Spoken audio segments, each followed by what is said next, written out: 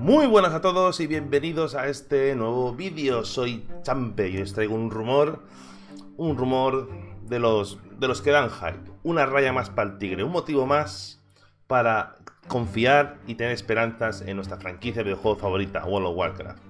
Según el medio We Got Discovered, que es un blog enfocado en todo lo que es cine, series y demás, Legendary, que es la productora de la película, estaría planificando, pensando ahora mismo, hacer una nueva película de Warcraft. Es decir, que en los próximos años podemos tener otra película de nuestro videojuego favorito. Algo que sería increíble. Es un rumor, ojo, o sea, no quiere decir que sea nada confirmado, no sea, que sea verdad. Eh, pueden pasar mil cosas, es un rumor. Pero ¿por qué Champe le das visibilidad a un rumor? No sueles hacerlo, ¿verdad? No suelo hacerlo realmente, menos en, YouTube, en stream sí que vemos leaks y demás, pero en YouTube no suelo hacer eco a estas cosas. Pero este medio, We Got Discovered, eh, es conocido por haber filtrado cosas en el pasado. Por ejemplo, son los autores del rumor que eh, colocaba a Ben Affleck como el nuevo Batman. Algo que cuando salió, pues imaginad cómo se puso en las redes sociales. Pero bueno, ahí, tenemos al señor Ben Affleck eh, siendo Batman. Así que, oye, algo de fiabilidad le das. Además, este medio dice que este rumor de la película Warcraft viene de la misma fuente que les filtró el tema de Ben Affleck. Así que bueno, como mínimo es interesante verlo. Además, quería aprovechar este vídeo para hacer eh, otro contenido que hace tiempo que quería hacer, que es el tema de cuánto cuesta eh, hacer una cinemática CGI. Algo que hemos comentado muchas veces y que casualmente ayer en Discord surgió el tema otra vez, y estuvimos hablando sobre el tema en Discord, porque hace tiempo lo hablamos en stream, que bueno, que todos soñamos con una posible serie eh, en CGI como las cinemáticas que saca Blizzard en el juego, en World of Warcraft, en Diablo y demás, una serie con ese formato. Pero es algo inviable por los costes que tiene. Es algo que también vamos a ver aquí para, bueno, por curiosidad, para que sepáis cómo funciona esa parte de la industria y los costes que tiene hacer, nada, dos minutos de CGI cuesta una millonada, de hecho. En fin, vamos a empezar el vídeo, pero antes de empezar este vídeo, vamos a dar las gracias a NP Tunnel, que es nuestro sponsor del vídeo de hoy. ¿Qué es NP Tunnel? En NP Tunnel lo podéis sacar una utilidad increíble, sobre todo a nuestros amigos de América Latina que tienen muchos problemas de latencia con World of Warcraft y otros juegos. Con este servicio, ellos garantizan bajarte bastante la latencia, no solamente en WoW, sino en casi 600 videojuegos diferentes. El coste mensual eh, son apenas unos pocos dólares y además puedes probarlo totalmente gratis. Así que si tenéis problemas de latencia con, con WoW o con otros juegos, os animo mucho a probarlo. Tendréis el enlace abajo en descripción, también en el comentario fijado. Y bueno, os animo mucho a probarlo. Intro y empezamos.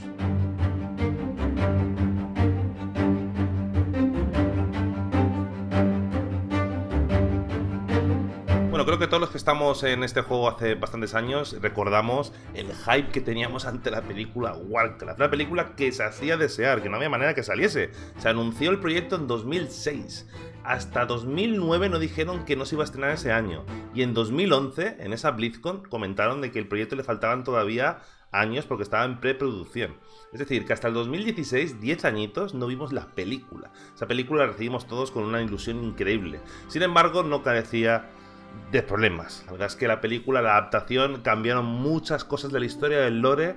Eh, que bueno, que la gente que éramos conocedores de la historia pues nos, chirriaba un poco bastante, pero da igual, da igual porque realmente al final era una oda, era un homenaje a todos los seguidores de World of Warcraft, a los millones de jugadores que habían disfrutado de este juego durante más de una década y la recibimos con los brazos abiertos. Nosotros mismos, mi mujer y yo, eh, estábamos, me acuerdo en esa época, embarazados de Jaina y fuimos al cine cuatro veces. Llevamos a toda la familia. Eh, primero quedamos con los de la hermandad, fuimos a ver la película juntos, luego con unos amigos. Luego eh, llevamos a familiares al cine, es decir, estamos intentando contaminar a todo, a todo nuestro entorno eh, de este hype increíble. Ya sabéis, si, sois, si sois gamers sabéis cómo funciona, ¿no? Tienes una pasión interna y te cuesta compartirla con los demás porque te miran como Tío, tienes casi 40 años, haces jugando a muñequitos. Pero bueno, ya sabéis cómo funciona. El caso es que, bueno, tengo muchas historias curiosas sobre esa época. Incluso un hermano mío empezó a comprarse los libros de Lore, se compró crónicas y todo de, de lo que le gustó la película. Es decir, había para todos los gustos. En fin, la película finalmente recaudó 439 millones de dólares en todo el mundo parece un éxito teniendo en cuenta que el coste de producción fueron 160 millones más o menos. Sin embargo, en Estados Unidos, que era el mercado donde, pues bueno, es el mercado nativo de esta película, donde pues supuestamente eh, eh, donde nació el juego, donde hay una fanbase más grande, pues fue un fracaso rotundo. De hecho, no llegaron ni a los 50 millones, que digamos con los 50 millones de recaudación, digamos que era una especie de de, barrera, ¿no? De, barrera psicológica que había que superar. No lo superaron, fue un fracaso rotundo. Además, de los 400 y pico millones que se recaudaron, más de la mitad fueron en China. Increíble. Algo que nos hizo especular a todos de, decir, oye, si, hay una siguiente película, seguramente vendrá una productora china, porque la verdad es que vaya desastre. El caso es que Legendary no, no ha sacado más películas, no ha habido rumores de nada. De hecho, incluso el propio director, Duncan Jones, estuvo eh, ha salido varias veces a hablar sobre el tema, diciendo que habían habido muchos problemas con, con, eh, la producción, con, sobre todo con la productora. Muchos problemas con ellos. Blizzard estaba un poco más en, en, una posición de, de, distancia. Es yo tengo mi empresa, yo tengo mi, mi, negocio y esto es cine, esto se lo dejamos a la productora, que son los que ponen ahí los dineritos. El caso es que eh, Blizzard estuvo involucrado en la película, obviamente. Duncan Jones, que es un director de renombre además, es jugador de World of Warcraft de, hace muchos años, conoce el lore, es decir, nos daba muchas esperanzas de que todo fuese a salir bien. El caso que parece, según dejó entender el hombre, pues tira y afloja con la empresa productora, pues al final el producto salió como salió, pero la idea no era esa, la idea no era... Eh, la película tenía que haber salido mejor todavía. El caso es que lo mejor... Eh, lo mejor de la película fue también, entre otras cosas, pues las animaciones que utilizó. La verdad es que era muy realista, los orcos eran increíblemente preciosos.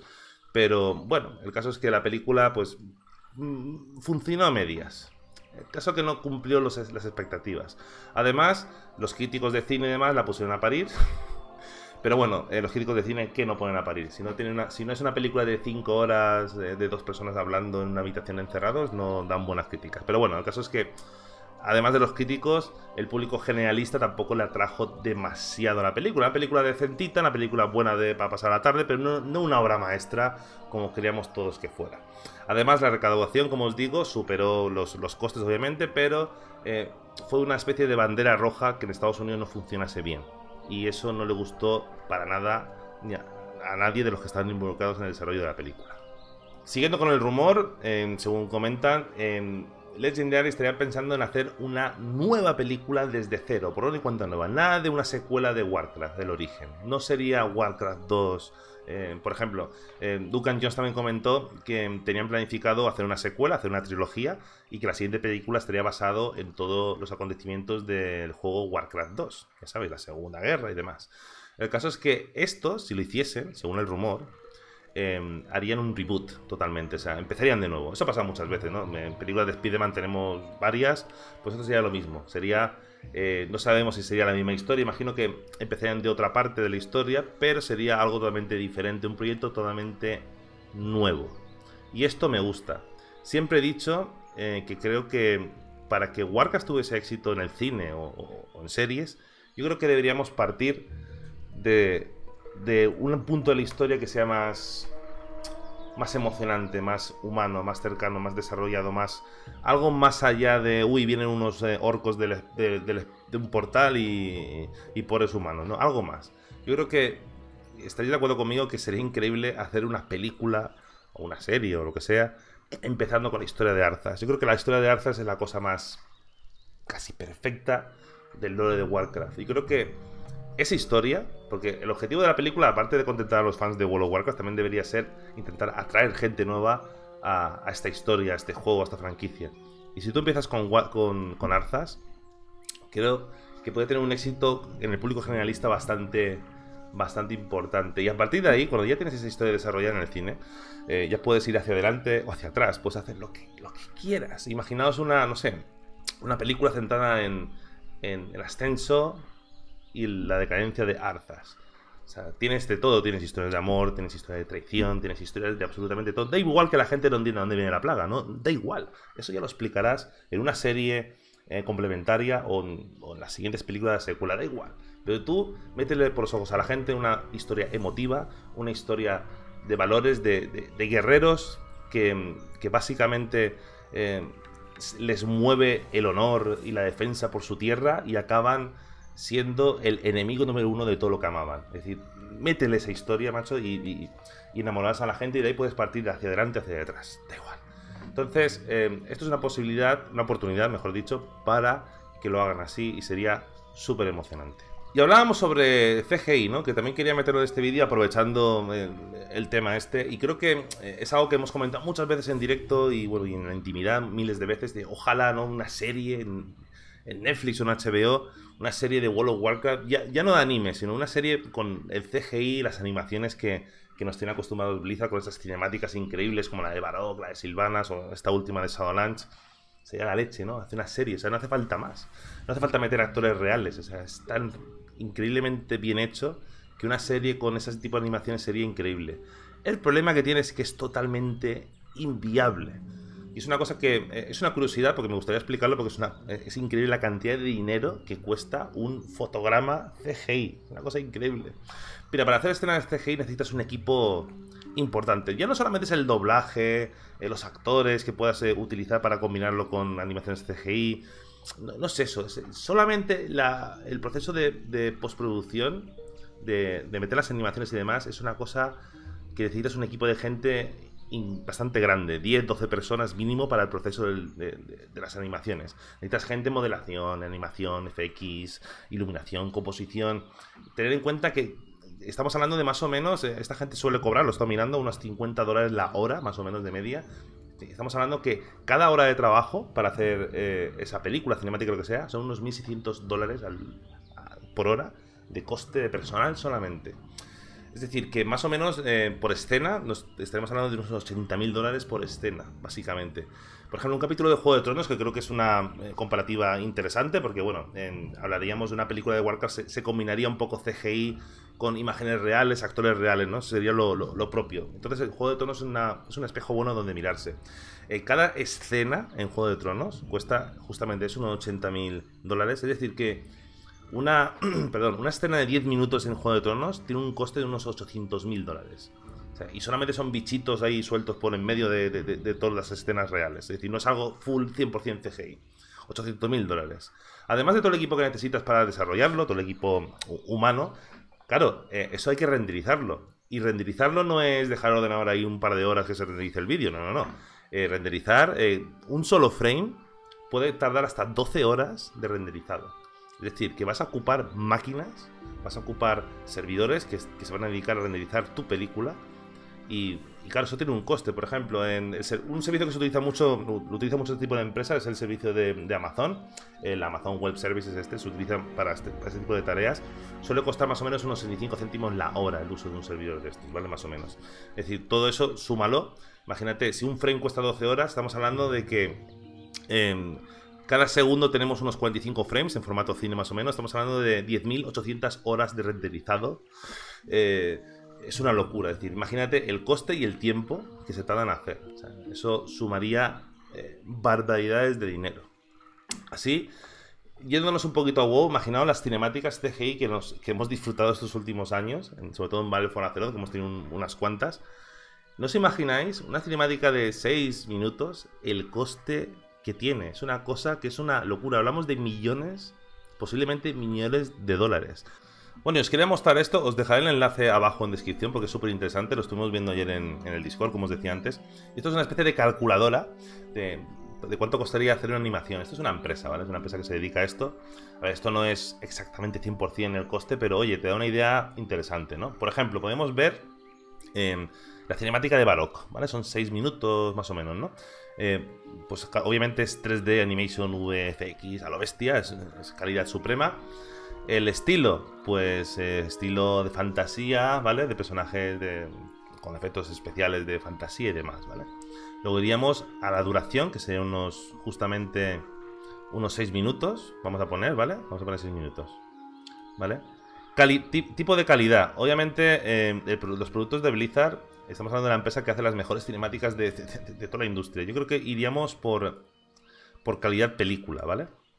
De todos modos, aquí veis el ratio de precio, ¿vale? Si hiciéramos una, una CGI de 6 minutos con poca calidad, pues estaríamos con 300.000 dólares. Si vamos subiendo calidad de empresa de publicidad, medio millón de dólares. Si nos vamos a la calidad cine, que creo que es lo que correspondería más o menos las cinemáticas de Blizzard, hablamos de precios sobrepasando el millón de dólares. Es decir, que una cinemática de estas te puede costar un millón de dólares. sabemos que la empresa, a ver, sabemos que Blizzard es una empresa multimillonaria que factura muchísimo dinero, pero oye, no deja de ser sorprendente, ¿vale? Para que veáis que no es algo banal, ¿no? Ah, hacer cinemáticas CGI a lo bestia. No, no, no, no, no, es tan sencillo, ¿vale? Eh, por ejemplo, si calculamos la película, imaginaros lo que, lo que decimos, lo que dice mucha gente, ¿no? ¿Por qué no hacer una serie full CGI? Pues imaginaros, calculemos más o menos que cada capítulo de una serie son unos 45 minutos, ¿vale? De media, ¿no? Lo que suele valer. Eh, vamos a poner calidad. Eh, vamos a poner la calidad media para que tampoco nos haga un número muy grande, ¿vale? Estamos diciendo que cada capítulo, una serie de Blizzard, de 10 capítulos de media, estamos hablando que costaría 40 millones de dólares en CGI. Si lo damos ya a subir la calidad, podemos hablar de 10, hasta 10 millones de dólares por cada capítulo. Esto solamente gastos de lo que es hacer una animación CGI. No contamos con rodajes, seguros y, mil millones de cosas, ¿vale? Pero bueno, pongámoslo 4 millones. Es decir, que una serie una serie completa podría costar unos 40, 50 millones de dólares. Y claro, eh, estamos hablando de que eh, recuperar ese dinero no es fácil, ¿vale? No es nada fácil. Ten en cuenta una cosa, una historia muy chula respecto a Juego de Tronos. El capítulo este tan increíble, el agarrar a los bastardos. Eh, los directores tuvieron que básicamente ir a Amazon a rogarles que por favor, ah, perdón, a HBO, HBO, a HBO a rogarles por favor que ampliasen el presupuesto porque querían meter eh, una escena de unos 10 minutos de más. Pero esa escena de 10 minutos de más suponía romper totalmente el presupuesto de, las, de, la temporada completa. Es decir, el CGI es un recurso increíble, pero es una cosa muy cara. Y bueno, y esta web os la voy a dejar porque es súper interesante. Podemos calcular hasta, por ejemplo, animaciones 2D, ¿vale? Lo que puede costar, con el estilo. Y oye, te da unos precios interesantes. Esto, obviamente es todo... Eh, eh, tirando por, por encima, supongo, pero oye, es, es bastante interesante. Bueno, pues esto es lo que os quería comentar. Muy interesante, yo creo que ojalá, ojalá el rumor sea finalmente cierto. Yo me emocionaría mucho y, y creo que a mí me cuadra. Me cuadra que Blizzard esté pensando en sacar eh, algún tipo de material cinematográfico, alguna serie de sus franquicias. Creo que es algo que debería explotar. Blizzard tiene algunas de las eh, franquicias más icónicas de la historia de los videojuegos. Tiene Diablo, tiene, tiene World of Warcraft, tiene tantas cosas que podía explotar. Y creo que el cine hoy en día, en una época en la que todo el mundo juega videojuegos, em, meter por los ojos a gente que, es ajena a ciertos géneros o incluso que es ajena a jugar videojuegos a través del cine, la televisión, creo que es algo muy bueno para atraer a nuevo público a, a tus juegos. Yo creo que sería algo a agradecer. Y cuadra, cuadraría bastante. Yo creo que Blizzard los últimos años eh, yo me acuerdo cuando sacaron Overwatch, que fue un exitazo tremendo. Yo, yo fui de los que decía, uh, uh, a ver si esto les va a funcionar muy bien y van a dejar el WoW un poco de lado, ¿no? Era un poco como... Pero yo creo que Blizzard al final se ha dado cuenta de que de todo lo que tiene, de todas las franquicias que tienen, creo que World of Warcraft sigue siendo la vaca lechera, sigue siendo el book insignia de esta compañía. Y creo que se. Creo que están intentando, con todo lo que estamos viendo en Shadowlands, este, digamos, cambio de perspectiva del lore para poder traernos nuevas historias interesantes en el futuro, estos cambios eh, dentro del videojuego en sí, ¿no?